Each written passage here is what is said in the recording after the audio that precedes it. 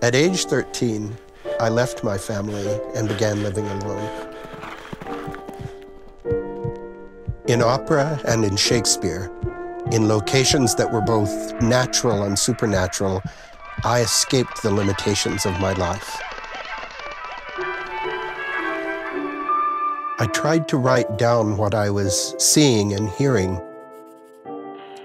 With my books and with my radio, later with my pen, I would go out to play with my friends Whitman, Puccini, Wagner, Melville, the incomparable Emily Dickinson. Also, Tennessee Williams, T.S. Eliot, and Tarzan of the Apes.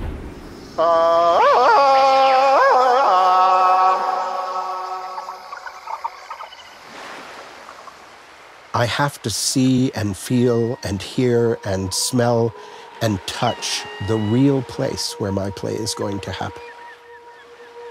13 years old, in the convent, perfectly still on my hard grey bed, waiting for Jesus and death.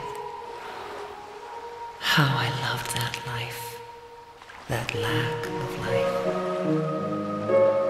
I travel to specific, larger than life, natural and supernatural places.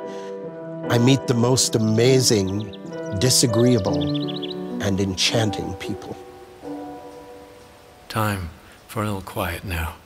Time for some sandwiches and beer. And you were as much as and more than the sun to me, Louis. Sweeter and softer and stronger than any son I might I might have hoped to father. I am the father and the mother of all these characters. I like being alone with them because they were born from my being alone. I keep them just for myself until they are fully cooked. Then I creep to the mouth of my cave and throw them out into the world.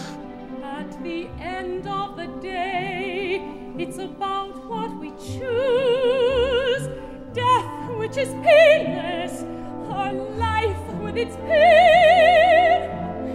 So much we can lose, so much more to gain.